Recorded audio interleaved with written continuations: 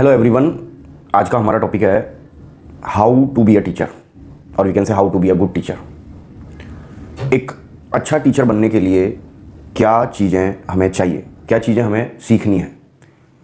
सीखनी है वर्ड इसलिए यूज़ कर रहा हूँ क्योंकि वो कहते थे ना पुरानी कहावत थी कि टीचर तो बाई बर्थ बनते हैं या टीचर तो बाई बर्थ पैदा होते हैं।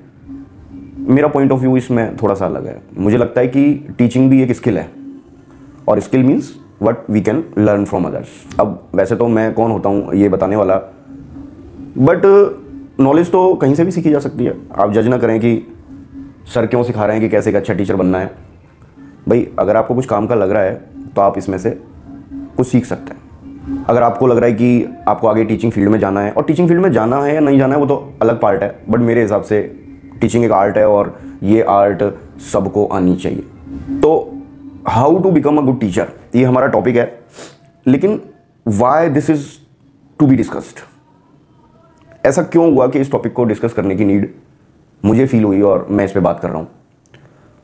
देखो, आजकल का सिनेरियो क्या है कि अच्छे टीचर मिल नहीं रहे हैं। बट वो एक लिमिटेड एरिया में सीमित हैं। ऐसा नहीं कि अच्छे टीचर नहीं हैं। बहुत सारे, हज़ारों लाखों हैं। बहुत सारे टीचर्स को तो प्लेटफॉर्म ही नहीं मिल पा रहा पर वो हमारा टॉपिक नहीं है। जब हम टीचिंग का एडवर्टाइजमेंट निकालते हैं या रिक्रूट करते हैं, कई सारे रिज्यूम हमारे पास आते हैं, कई बार हम डेमो डेमोन्स्ट्रेशन भी हम लेते हैं टीचर्स का। तो बहुत सारी कमियाँ हमें नज़र आती हैं, जो हम उन्हें बताते हैं कि आप इन पे काम कीजिए।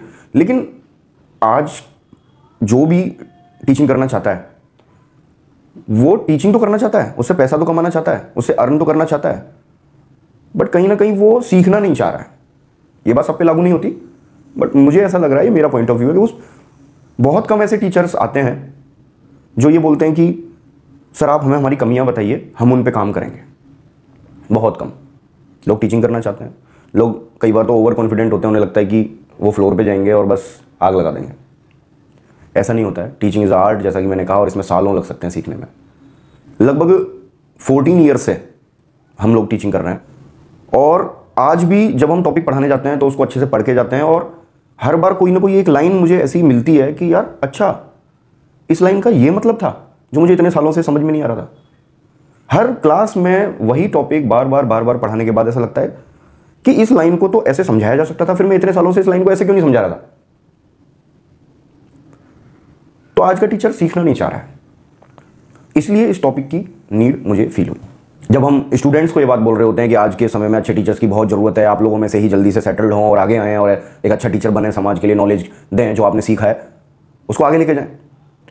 लेकिन सौ लोगों को अगर आपने एडवर्टाइजमेंट डाला है तो मुश्किल से कोई एक क्वेरी भी शायद नहीं आती। मतलब 200-300 लोगों को ग्रुप्स में डालने के बाद व्हाट्सएप पे फेसबुक पे और इधर उधर सर्कुलेट करने के बाद शायद कोई एक दो कैंडिडेट होते हैं जो इंटरेस्ट दिखाते हैं और वो डेमोस्ट्रेशन में फेल हो जाते हैं। मुझे ऐसा लगता है कि आज का स्टूडेंट के अंदर वो जील नहीं है, वो इच्छा नहीं है कि टीचिंग मुझे करनी चाहिए। बहुत सारे रीज़न हो सकते हैं। उन्हें हो सकता है पैसा नज़र नहीं आता हो इस फ़ील्ड में। हो सकता है उन्हें इंटरनल मोटिवेशन ही नहीं मिला हो बचपन से। हो सकता है उन्हें कॉन्फिडेंस ही नहीं हो कि वो एक अच्छे टीचर बन सकते हैं। आज हम फ़र्स्ट पॉइंट डिस्कस करेंगे। To become a good teacher first to be look like a teacher अब लुक लाइक से मेरा मतलब कोई हाई फाई ब्रांडेड कपड़े ब्रांडेड शूज़ या ऐसी कोई चीज़ें के बारे में बात नहीं कर रहा हूँ। To be a look like a teacher में कई चीज़ें हैं। उसकी बात करते हैं। जैसे फ़र्स्ट इंप्रेशन पे ही टीचर की हम्बलनेस दिखाई देनी चाहिए। उसकी कामनेस दिखाई देनी चाहिए। मैं देखता हूँ कि आज स्टूडेंट एक दो क्वेश्चन क्लास में पूछ लेते हैं तो तीसरे क्वेश्चन पे तो टीचर इरिटेट हो जाता है। उसको तो कुछ नहीं बोल रहा है। किसी दूसरे थर्ड स्टूडेंट को वो चिल्ला रहा है, डांट रहा है इंसल्ट कर रहा है, या उसकी ही पर्टिकुलर इंसल्ट कर देता है। पेशेंस नहीं है। कैसे डाउट्स को डील करना है, वो नहीं आ रहा। तो उसका अग्रेशन उसके चेहरे पे दिख रहा है। कामनेस आपके चेहरे पे दिखनी चाहिए हम्बलनेस आपके चेहरे पे दिखनी चाहिए, विनम्रता आपके चेहरे पर दिखनी चाहिए। मेरे कहने का मतलब लुक लाइक से ये है। मेरे कहने का मतलब लुक लाइक से है कि आपके जेस्चर कैसे होने चाहिए जब आप ऑडियंस ऑडियंस यानी स्टूडेंट को डील कर रहे हैं। तो ऐसा नहीं कि पर्टिकुलरली कुछ स्टूडेंट को ही आप घूरे जा रहे हैं। मैं देखता हूँ कई बार टीचर बस जो खुद नर्वस होते हैं या जब नई नई टीचिंग करना शुरू करते हैं। तो उनके एक्सप्रेशन रहते हैं कि बस वो आगे वाले जो दो चार स्टूडेंट होते हैं, उन पर बस नज़र गड़ाई रखते हैं, उनका कॉन्फिडेंस इतना डाउन है कि वो पीछे तक नज़र नहीं देख पा रहे हैं। मास पॉपुलेशन पे आई टू आई कॉन्टैक्ट होना चाहिए। हमारी साइकेट्री में एक थेरेपी होती है अजर्टिवनेस ट्रेनिंग जिसे अजर्टिवनेस थेरेपी भी बोलते हैं। उसमें यही चीज़ें सिखाई जाती हैं eye to eye contact listening fluency timing content teacher को टीचर नहीं, एक ह्यूमन बींग को भी while communicating what are the factors we should consider तो उसी की बात कर रहा हूँ मैं। कि जेस्चर आपके फ़र्स्ट ऐसे होने चाहिए कि आपके चेहरे से कामनेस दिखाई दे। आप जब ऑडियंस को देख रहे हैं तो हर तरफ़ आपकी आई टू आई कॉन्टैक्ट होना चाहिए, ना कि पर्टिकुलर ग्रुप के लिए। तो जेस्चर की बात हो गई। पॉस्चर पोजीशन जब मैं नया नया टीचर बना था तो बहुत नर्वस था। मतलब मुझे याद है फ़र्स्ट क्लास में तो शायद मैं अंदर से काँप रहा था। तो मैं लूज़ पैंट पहन के गया था कि मेरी टांगें कांपती हुई नज़र नहीं आ जाए। हिम्मत करके खड़ा हो गया। मैं देखता हूँ नए टीचर्स को दीवार के पीछे सहारा लेके खड़े हो जाते हैं। एक जूते को दीवार पर रख लेते हैं, एक टांग से खड़े रहते हैं। हाथ पीछे बाँध लेते हैं। ऐसा हमें नहीं करना है। हमें एक स्ट्रेट पोजीशन रखनी है, हमें हाथों को ऐसे नहीं रखना है। हमें हाथों को पॉकेट के अंदर नहीं रखना है। हम नॉर्मली जब हम कम्युनिकेट कर रहे हैं तो हाथों का यूज़ भी बराबर चलना है। और अगर आप बोल नहीं रहे हैं तो आप सीधे हाथ को खड़े करके रख सकते हैं चेयर पर बैठे हैं तो सीधे रख सकते हैं। आज का स्टूडेंट बहुत समझदार है। टीचर की नर्वसनेस को मिनटों में पता कर लेता है कि वो टीचर नया है एक्सपीरियंसड है, पुराना है। तो ये एक पॉइंट मैंने डिस्कस किया। अब लुक लाइक में however dress also a matter आप आप सिंपल एंड सोबर कपड़े पहन सकते हैं। ज़रूरी नहीं है कि फॉर्मल्स में ही अच्छा लगता है एक टीचर कैजुअल भी आजकल प्राइवेट इंस्टीट्यूशंस में कैजुअल भी अलाउड है, लेकिन कैजुअल भी डिसेंट इनफ होने चाहिए। आप डिसेंट इनफ देखो टीचिंग है ना इससे टीचिंग का मतलब क्या है? सिखा रहे हैं आप किसी को। और सिखाएँगे कैसे? जैसे माता पिता जैसे होते हैं, वैसा ही बच्चा बनता है। ऐसा ही कहते हैं कि जिसका जैसा गुरु होता है ना, उसका चेला वैसा ही बनता है। बल्कि मैं कह रहा हूँ, उससे ज़्यादा बनता है। वो कहते हैं ना, कहावत है कि गुरु गुड़ हो गया, पर चेला चीनी बन गया। मतलब उससे भी ज़्यादा रिफाइंड हो गया वो। तो आप जैसे रहेंगे, जैसा बर्ताव करेंगे, जैसा सिखाएँगे प्रोडक्ट भी तो वैसा ही बनेगा। तो डिसेंट इनफ आप अपना ड्रेसिंग सेंस रखें, साफ़ सुथरे कपड़े पहने, ज़रूरी नहीं कि बहुत महँगे कपड़े हों, बहुत महँगी शूज़ हों, बहुत महँगे आपके गैजेट्स हों। ऐसा कुछ नहीं। आप यूट्यूब पर देखिए, कितने सारे बड़े बड़े टीचर्स हैं जो सिंपल सोबर गिनी चुनी कुछ फॉर्मल ड्रेसेज हैं, उन्हीं में सारी क्लासेज उनकी अपलोड हो रखी हैं। But it must be neat and clean and soothing इतना प्रोवोकेटिव नहीं हो, आपके क्लॉदेज की वो डिस्ट्रैक्ट कर रहे हैं और बच्चा कंटेंट पे ध्यान नहीं दे पा रहा है। आप जब बोल रहे हैं तो easy to understand vocabulary use करें अकॉर्डिंग टू योर ऑडियंस अगर आपकी ऑडियंस अच्छे स्ट्रक्चर मीनिंग को समझ सकती है तो आपको पता होगा आप किस स्टैंडर्ड को पढ़ा रहे हैं। कई बार टीचर क्या होता है? खुद टीचर इंप्रेशन के चक्कर में स्टूडेंट के ऊपर कुछ ऐसे जार्गल्स टेक्निकल टर्म्स जिन्हें कहते हैं, वो इतने हाई फाई यूज़ कर लेता है कि स्टूडेंट को ये तो लग जाता है कि वाह, क्या पढ़ाया है।